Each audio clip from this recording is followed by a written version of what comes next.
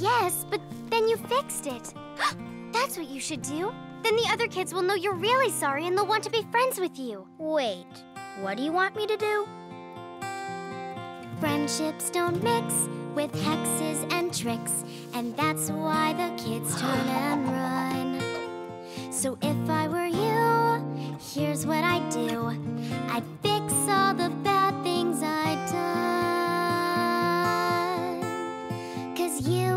to be a good little witch. They'll give you a chance if you make a switch.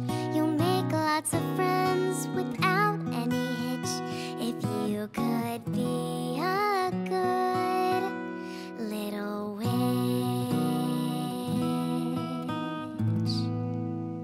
So, what do you think? You want me to undo all of my hexes? Uh huh.